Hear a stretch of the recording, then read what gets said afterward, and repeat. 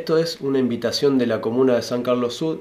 Surge la idea de hacer este taller de lectura y escritura que está apuntado para todo público desde 8 años para adelante, eh, niños, jóvenes, adultos. La idea es que sepan leer y escribir. Ese es el único requisito. No se requiere haber ido previamente a un taller, ni se requiere tener eh, experiencia en lectura ni en escritura. Solamente el ánimo de ir, leer, disfrutar de la lectura, engancharse con, con eso. Se va a hacer todos los días jueves de 18 a 20 horas en la Biblioteca Popular de San Carlos Sur. Em, que sería el lugar ideal para hacer este tipo de talleres, ¿no? Claro, sobre todo por una cuestión particular que tiene que ver con que hoy el libro ha perdido el lugar que ocupó tradicionalmente, un poco por el tema de las pantallas, ¿no?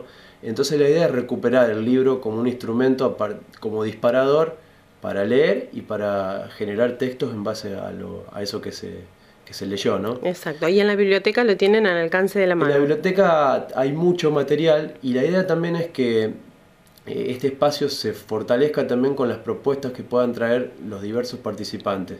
Es decir, si los participantes, más allá de la propuesta que les pueda hacer yo como coordinador, tienen ganas de sugerir algún texto, de traer algo que están leyendo, traer algo que leyeron alguna vez que les gustó, algo que les llamó la atención, lo pueden traer y lo compartimos.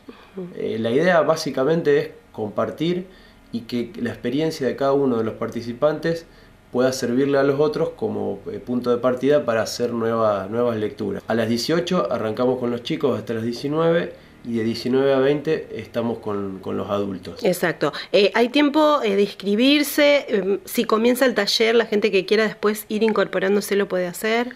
El taller empieza este mes, o sea, a partir de, de este jueves 12 de abril, ya nos vamos a estar reuniendo todos los jueves, se pueden sumar cuando quieran en el momento que ustedes quieren, se acercan a ese horario, ese día y ese horario, los inscribimos en el momento y a partir de ahí ya forman parte de, del taller.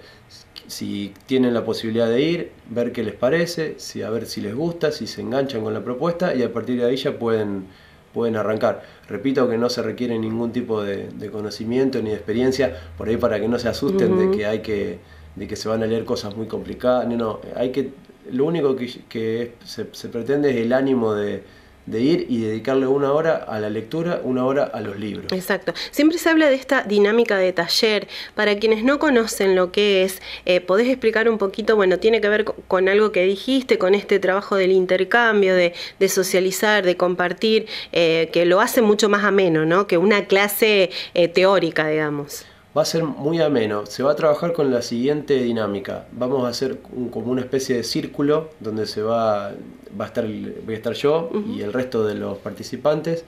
Y la idea es que todos lean, eh, que todos tengan la oportunidad de leer. Y a partir de esas lecturas, que cada uno pueda reflexionar sobre qué le, qué le pareció esa, esa lectura, qué cosas le movió, y a partir de ahí generar un espacio de escritura en base a eso que, que se leyó. Obviamente eh, lo que se intenta es que eh, cada uno de los participantes pueda, eh, digamos, contar, contar cómo fue él como lector o qué experiencia tuvo como, como lector, porque cada, cada uno en, su particularidad pudo haber leído, pudo haber escuchado determinadas cosas que forjaron su, su propio perfil de, lector. Y la idea es que cada uno lo cuente, digamos. Que cada uno exponga eso. Eh, las nuevas generaciones eh, en las escuelas, los más chiquitos, ¿conocen esos autores célebres, bueno, de, aventuras como Tom Sawyer? Eh, ¿Volvemos a eso para poder motivarlos a la lectura hoy por hoy? Es que, digamos, yo creo que la lectura está. La, pasión por la lectura está, porque eso te, lo explica la el éxito que están teniendo, por ejemplo, muchas series eh, de Netflix que son basadas en grandes obras literarias. Así que yo creo que la pasión está. Lo que falta por ahí es eh, perderle el miedo al libro, al libro como formato, digamos, que por ahí asusta un poquito. Hay que perder ese miedo.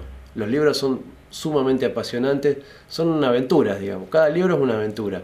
Y la idea es, esa, digamos, que se vivan muchas aventuras. Exacto. Eh, vos decías al comienzo esto de cómo la tecnología ha ganado un espacio dentro de la familia, en las escuelas.